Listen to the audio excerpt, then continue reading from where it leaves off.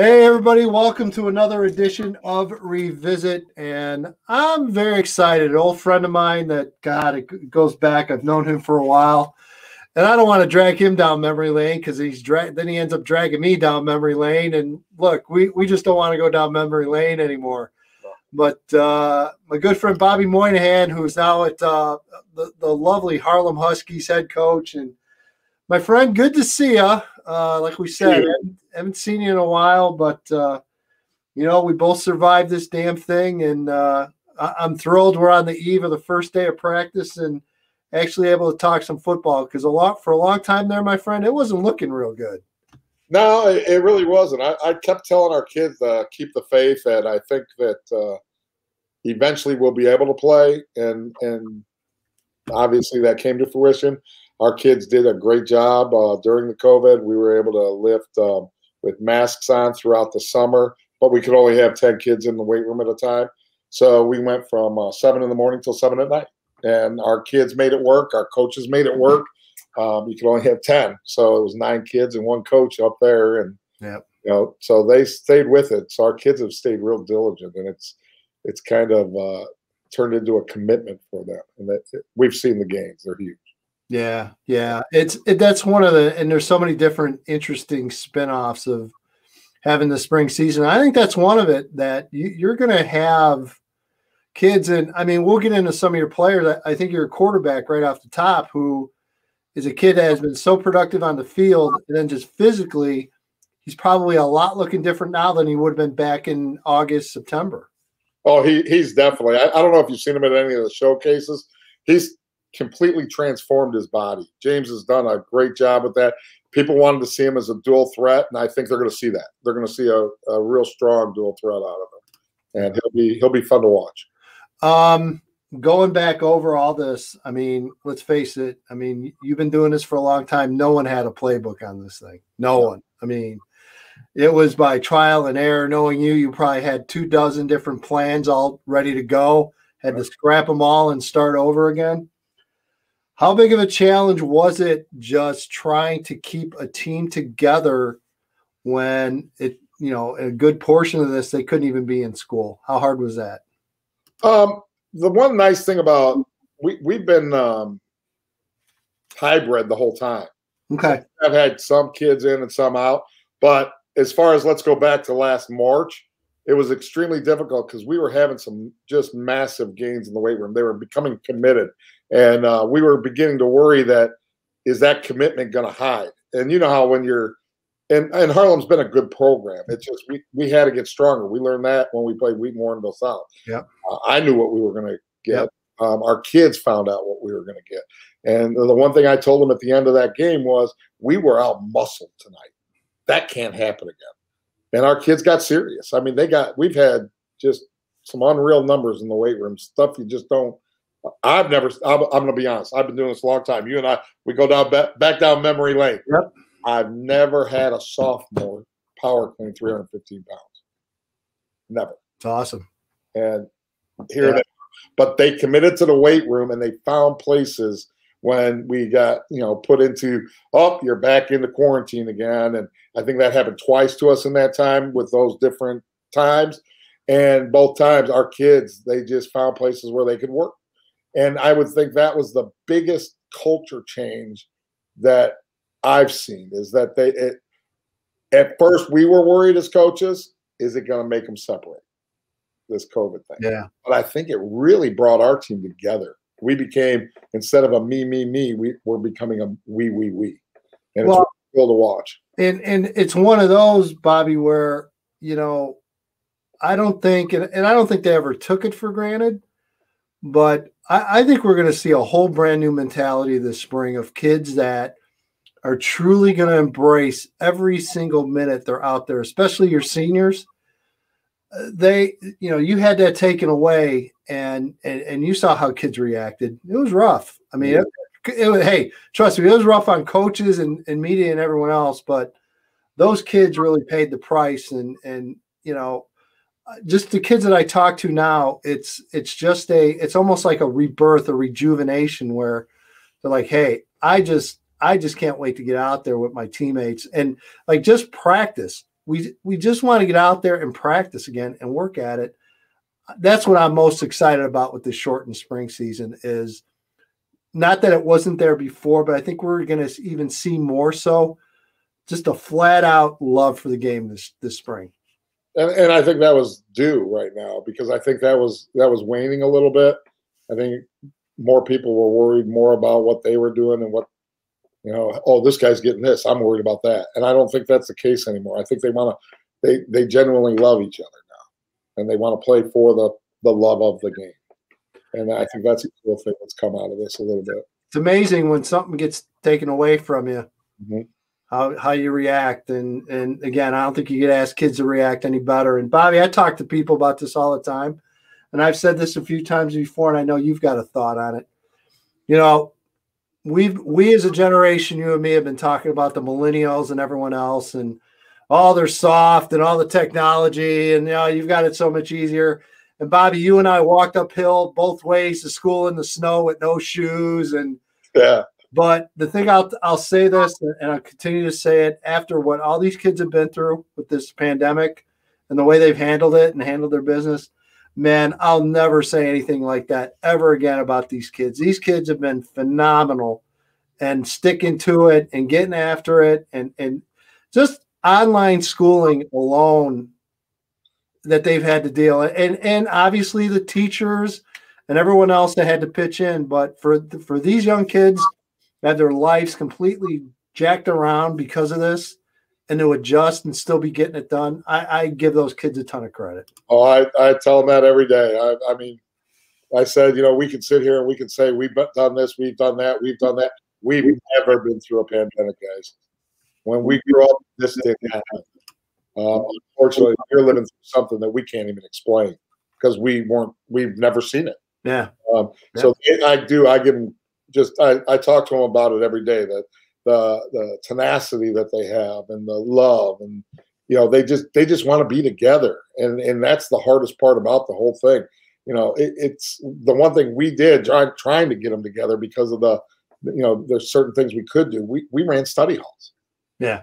After after on wednesday nights. We did it through zoom. We did it through just so they could be together and talk. So yeah. they could uh, get, just so we could do those things and it, it, worked out really well. I think the kids got to know us, we got to know them, and it, it, just becomes a better atmosphere. Yeah, and and look, you got thrown into this. You're you're in it together, whether you like it or not, and exactly. you're either going to sink sink as individuals or, or rise up as a team and get through this. And obviously, we're seeing a lot of those stories. And I think we're going to continue to hear those stories as the spring goes along, which is great. Um, throughout your coaching career, you have always embraced the challenge. You oh. have. You've been at some interesting stops along the way. They have never been what I would call ready made jobs. This might be as close to one of those as you've had, I think, in your career at Harlem, but um, always a lot of work involved. So you've had those challenges. I mean, how big of a challenge was it this year having to deal with circumstances you just really had no control over? And, and, and it's one thing where you know with your program you you can control certain things and, and behaviors and, and grades and things but when you have a pandemic like this where you don't know where it starts and when it's going to end and how it's going to end was that probably as difficult as anything you've taken on in your career I, I would say it is. I think the different. I think those other things prepared me for it because there was a lot of you know you know those places I've been, so it's it's been rough, but they they if you make it work and you find out ways. I think the biggest thing that shocked me more than anything was how things changed so rapidly. Um, and with that, some of our coaches didn't even understand how that would happen. And that, you know, it, it kind of got to them because they weren't used to it. You know, they might be in a business where things didn't change like that. And you had to roll that right off your back. But with those experiences like you're talking about that I've had, you've got to learn to let that roll off and not take it personal. You just got to say, you know, hey, this is the new today. We got to change it. So tomorrow we can do this. But the whole time we were doing this, we were we were just.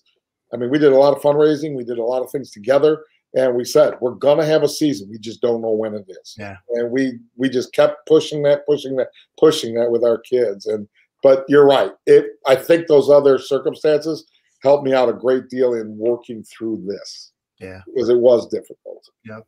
Um, speaking of difficult and, and something that you've been great as long as I've known you as a head coach, you are truly an, a vocal advocate for your kids, and and you'll get in my face and tell me, "Hey, I got some guys here," and no, I love you for that, and and, and I love when coaches get involved because it does. It, it it definitely makes me take a second look. I mean, how difficult was this for you with your seniors trying to get these kids? Placed and get in places and a kid and again i'll keep referring to james cooper jr a kid that might be one of the most productive quarterbacks in the state over the last three four years. And and he was he was scrambling to find a spot. So i mean just incredibly difficult. And how hard was that for you really just to to number one explain to these kids why this is happening number two trying to find homes for them uh, the biggest thing was is trying to explain to them what was going on because as as we all know now, everyone gets another year in college. Yeah. Unfortunately, that doesn't happen to our kids in high school. So they're kind of stuck because the, the colleges have only so many scholarships they can offer. So these kids are like, wait a minute, why isn't happening? It happened last year for this guy. Why isn't it happening for me? So that was hard for, to explain to them. And at first, we didn't understand it.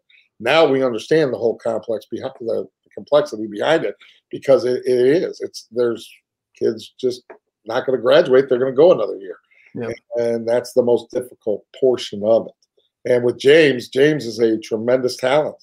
Um, he's got yep. throws the ball well, and he will continue.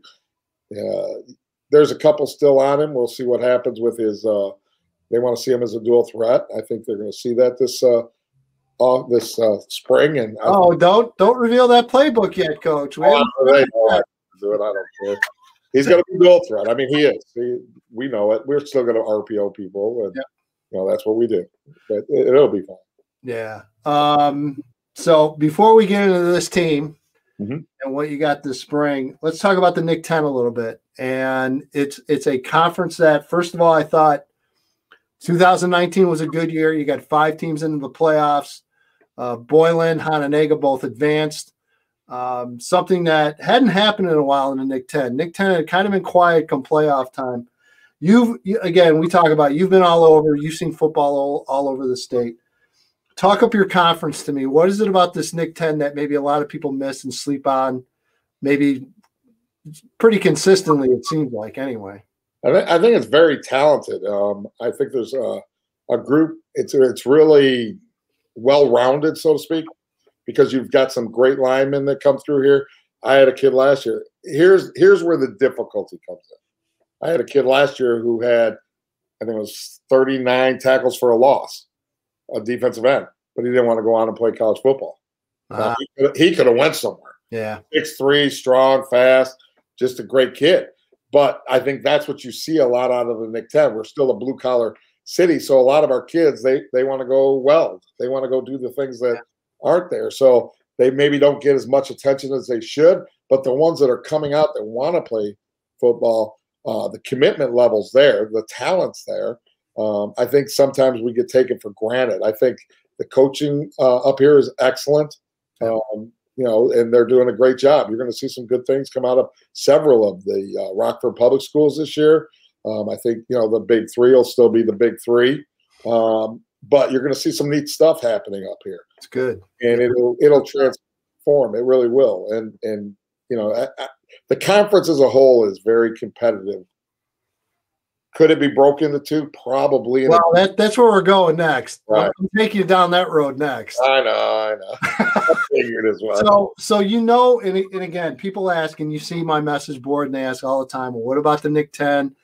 And my whole thing for years, and, and it's it's the age old argument the lock conference. I mean, and and does one or two non-conference game mean all the world to to your area? I don't know, but all I know is is I think if you guys had that one or two non-conference game to be able to go out and play some teams across the state, I just think I think it would give. And you talk about your kids learning that lesson in the playoffs.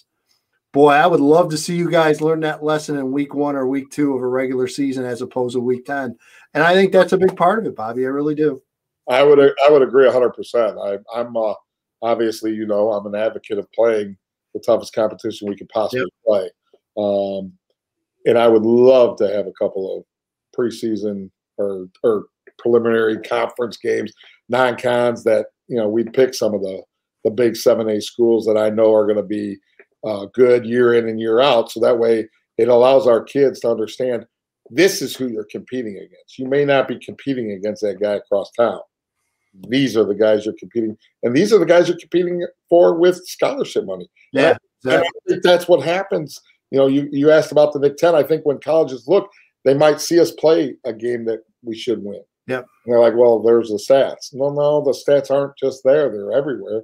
And and maybe some of the teams don't get as much credit as they deserve, but you know, they're they're pretty solid teams. Yeah, I mean, I mean, yeah. just as an example, that 5A semifinal game in St. Rita.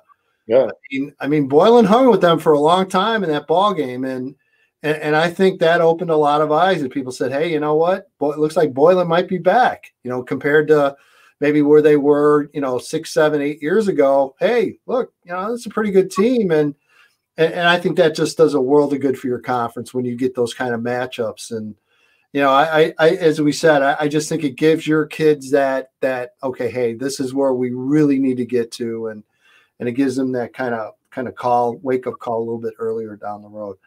So so let's talk about your team. What you got coming back in, in, in 2021 here in the spring. We we talked already about him about James Cooper Jr. Start with him and give us some other names that uh, people are going to need to get to know this uh, coming spring. I'll give you a couple more offensive players that or three. I'll give you right off the gate on uh, skill kids. Uh, Dominic McCarron. Um, again, don't know what he's going to do after high school. He's a six-three kid. I had Iowa State looking at him, NIU doesn't really know if he wants to play college football. Um, so there's there's a again one of the, the issues. Yep. Uh, solid receiver. He's six three, runs a four seven. He's he's gonna be good. Uh, hopefully, he decides he wants to play college football. We'll see. Yep. Um, we got Dezion Jordan. He's six four, runs a four four. Yep. And he catches the ball well, plays corner for us as well. He's going to be a newcomer that you're going to see that's just tremendous.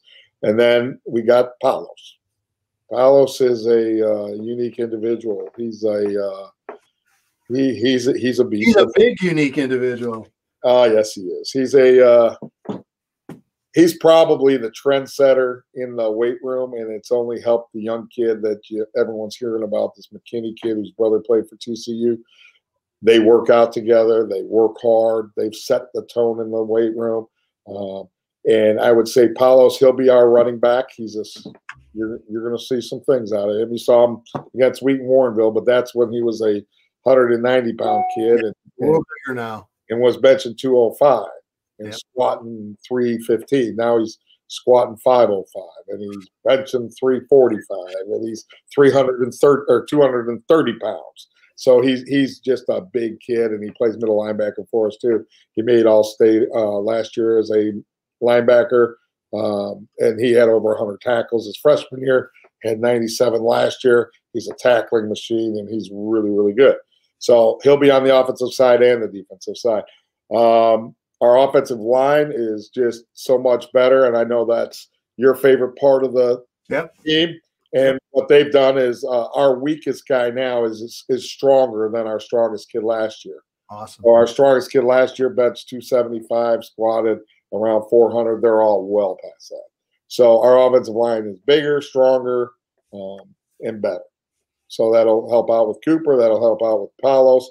Uh, we got a great receiving corps. We got a young little slot receiver, Ishman. He's a senior. He's a burner, and he'll be. He's real well. He did excellent. He has a thousand pound club. He just hit that thousand pound club as a wide receiver on the four lifts. And what we do up there is we we do a single rep max. So we're not going to say, you know, he did three right. reps. We're going to guess it's this. No, they had to put it up.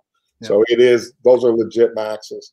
Um, then then the sophomore we got. You know, he he's a pretty solid kid. Um, McKinney, he's uh, he's going to be a monster at nose guard. Um, we'll also play him at some H and some fullback, and he's 6'2", 280, and uh, has set every record we have at the school. He's uh, 1,900 pounds in the uh, four lifts uh, as a sophomore. So he's yeah. just he's on. Kid, yeah, always on there. Uh, we got a couple of good. I got a little safety um, who's done a great job. Uh, Ethan Taylor. He's a uh, junior as well. We're very junior oriented and sophomore oriented, along with our senior class. The studs we have in the senior class have been complemented with these two younger classes. But Ethan Taylor's a safety. Uh, again, he's benched 315 and he's only 170 pounds. So he did 1,700 pounds and he's only 17. He's only 170 pounds. Yeah. So yeah. he's a strong kid, fast kid. He runs a four six. So these guys all put it in. Um, Ty, I think it was Ty Tyus who who said it originally. Coach, I know you said that we all have to bench 185, but we're all going to bench 225 to play on defense. Sure. hey, this is a 138 pound kid. Yeah. And he did it. So, I mean, it, it's just that's the type of mentality they have right now. You said no one can run under, uh, they, everyone has to be under a five. That's what it is. Everyone's got to be four nine or better. Um, they they have to be benching according to the team. Um, so our entire secondary is over 225. Um, so it's pretty nice. I mean, it's really nice. Uh, Jack Huffman's going to be a monster. At our, he's only a junior. Again, a lot of these kids are juniors. Yep. DeAndre Young. Um, Jack Huffman's a defensive end. Reed Foster, he's a uh, middle linebacker with with uh. We run a three-four, and we do a lot of different things out of it. And he he's again, he's another kid who's up there at 275. I mean, these kids are just they they love the way this junior class. We knew it was coming. We knew they were going to meld well with what we had at our senior class. Do we miss that we didn't have the season? Yes, we do. Because now we had some chances of doing some pretty yep. cool things. Uh, but we'll have it this year. And again, you know, it'll change a little bit because our seniors are gone. But next year it'll be good. But those are probably uh, the toughest kids. Other than we also had a transfer that came down from Beloit by the name of Brendan McCoy. He's a big offensive lineman who's uh, he's about six three and he goes 300 and again, he's up there with those guys in those bench press numbers and squat numbers. And you'll always you'll always welcome that 6'3", 300 pound transfer any day of the week. Oh yeah, if there's more out there that want to come on over, come on over. Yeah. But, I mean, we built some good ones. I mean, we got some Nate yeah. Smith. You know, he he's he came in last. I think it's. I was just looking. He was benching last February, 185 pounds. He hit 265. So I mean, these kids have really just come on strong. And these are young kids that'll be fighting some of those other that's, kids. That's what's exciting because yeah. besides the spring, you know, this is in, in a lot of ways, Bobby, let's face it, this oh. is like this is like the spring we always dreamed that we would have in Illinois, where you would have like a legitimate spring ball mm-hmm. to get ready for the fall. And this is exactly what it is. So that's why I want to ask you. Does that change your approach a little bit with the six games? Is it are you trying to find a happy medium where yeah, you're seniors, and, and, I'm talking about the kids that are seniors that maybe didn't play a ton. Are, are, is it get them time priority one, or are you kind of juggling between all these young kids you want to get some seat time and, and getting after? It's kind of what's your approach going in uh, to the season? What we're trying to do is we want to reward our seniors because, again, like you said, no one's been through this. Yeah. And these kids have been I mean, I hate to say it like this, but they've been crapped on. Yeah. Since March of last year. Um, so what we really want to do is we want to make sure that we're promoting them as well as we can while gelling our younger class. If that makes sense in a way. No, it does. Yep. That's what we're trying to do. Yep. Um, you know, we want to play as many kids as we want. I think that's one great thing about the spring because it really, I mean, we're going to play for a bowl game up here, but does it really it's not like you're playing for that state championship. So can we get some kids in and maybe where we might have only played five defensive linemen, maybe we play six or seven. Right. Yeah. You know what I mean? Yep. So th- those are the things that we're looking at as a whole, just to try to develop everyone. But we don't want to take it away from our seniors because. So I, have tried finding your schedule and I've had no luck. So do you have your schedule in front of you? Yes, I do. What is it? We start off at Auburn and that's a Friday night game. That's our only Friday night game. Uh, that's March 19th at Auburn. Then we go to, or Freeport comes to us, and that's on a Saturday at one o'clock. Then Belvidere North, I think that was good, or Holy Saturday. Yep. Because we didn't want to play on Good uh, Good Friday. Actually, their place. They didn't want to play on Good Friday. We didn't want to play on Good Friday, so we said, okay, we'll do Saturday there, and we're doing that at two fifteen at their place. Um, and then uh, after that comes Hano. Piece of cake. Piece of cake game for you, sure. Yeah, we'll be that. That's the one they're, they're looking at. The, the, the, next one's the one they're really looking for. Um, so Hano at our place at uh, one o'clock, and then we got uh, Boylan at our place at one o'clock. Nice. So those are. The, and then how's the bowl, how's the bowl game going to work? How they set it up? Yeah, what they're doing is um, we split the conference into two. Okay. Right. So we have one side and another side. Uh, our side is uh, uh, us, Belvidere North, Hononegah, uh, Boylan, and Auburn. And then okay. the other side, obviously. So our crossover was Freeport this year, or this spring. And then um, everyone else has a crossover. So what will happen is whoever wins each side. Yep. Ones will play ones, twos will play twos, threes, fours, and That's fives. great. That's right. great. I and that that's what I was hoping with all this. When when all this when this came down, I was like, you know what? Have some fun, you know, get creative with this and and do some different things. You just mentioned you split the conference in two. Maybe this is something you guys look at again and go, hey, you know what? Maybe we can work with this a little bit. And you know, and not just for the reasons I said, but maybe benefits as well. Maybe it balances out the conferences a little bit. I mean, it, it there, there could be worse things that could happen because of this. Exactly. I, I think it would be great. I, I think it'd be great if we could add to, you know? Yeah. Um, if we could add to, we could have six and six and have two um, non-cons and a crossover. And and the other thing I want to add too that I don't know if people are aware of this or not, but um, you're going to be able to find a lot of high school football in the Rockford area because – Besides, as you mentioned, we're going to get a lot of scheduling changes and venues are going to change. Mm-hmm. Then we're going to throw in, as we talked about, the NUIC schools. A lot of them are coming to Freeport in your place and playing their home games. Well, I might get a town a townhouse up in Rockford and just hang out because because there's going to be a lot of football this spring up in Rockford. There's going to be a lot of football at Harlem High School. Yeah, we have rented it out for everything. That's uh, great though. That's in there. You're gonna. I mean, you're gonna see everyone there. Yeah. there. Uh, it's we've rented it out, and they, and they gave them a great price. They didn't try to yeah. gouge anything. Yeah. They, I mean, they gave it well under what the value is, just because they want to help everyone. You know, that's exactly. cool. And, um, and that doesn't surprise me at all. Seriously, no. with with the Rockford area schools in the NIC-10, right. nah, all good people, all good programs, and in a situation like this, like you said, all hands on deck and, and let's pull it off. So hey, it'll be fun. It'll be Friday nights. We'll be going yeah. to We'll go up in our stands and we'll watch Bago. We'll watch Byron. We'll, we'll get to see some cool stuff. Yeah, no doubt. Um, hey, great to see you. Good to get caught up. And uh, I don't know, man. You're tempting me. You might just see me now. See, my my spring's going to be different than what it usually is. I have no TV responsibilities this spring season, so so I am unleashed. We'd love to see I you. go anywhere I want to go this spring, pal. Come anywhere. to or Hano. Those would be the those would be fun ones to come. I might just spend a weekend up there. You never know. That's awesome. Belvidere North. They're yep. this year. They're going to be real good. Yeah. So that'll be a nice one too. Anyway. Yeah, I'm looking forward to it. And, and again, just uh, great to get caught up. And this won't be the last time. We'll definitely stay in touch and uh, wish you the best. Stay healthy and uh, Go get them. Have fun tomorrow. You too, buddy.